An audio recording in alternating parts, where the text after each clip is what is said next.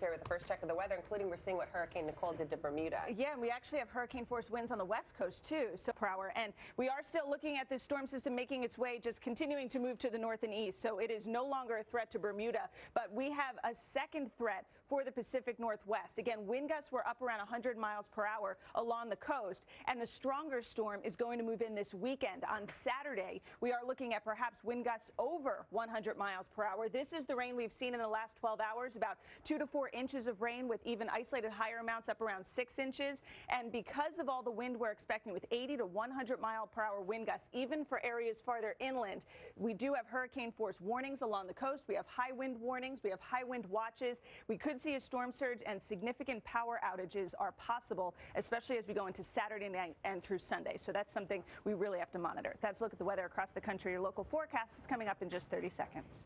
All right, as Al continues to be on the mend, Dylan's here with another check of the weather. And uh, we are looking at warmer temperatures through the middle of the country where it's been pretty chilly the last couple of days, well below average. But we're going to replace that with unseasonably warm weather as we go through the weekend and into next week. Look at Saturday, Wichita, Kansas, 85 degrees. St. Louis up to 80 We'll be staying well above average, possibly even some near records today. And of course, we're keeping an eye on that Pacific Northwest storm. The bigger of the two storms will be moving in Saturday night. That's look at the weather across the country. Now here's a peek out your window.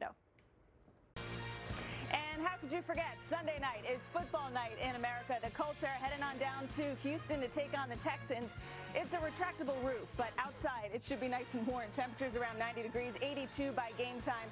I really don't know how they decide if the roof is open or not. So either way, you can catch all the action. The Texans and the Colts Sunday night on NBC. Coverage begins at 7 p.m. Eastern with football night in America.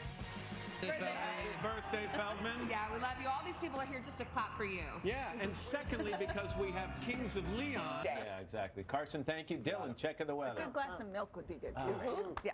Uh, we've got uh, this big storm system in the Pacific Northwest. We pointed this out earlier, but this is going to be the big story going into the weekend. The first one made its way on shore yesterday. It produced wind gusts up near 100 miles per hour along the coast. The next one is going to uh, move in as we go into Saturday afternoon, and the second one is going to produce even stronger winds, perhaps.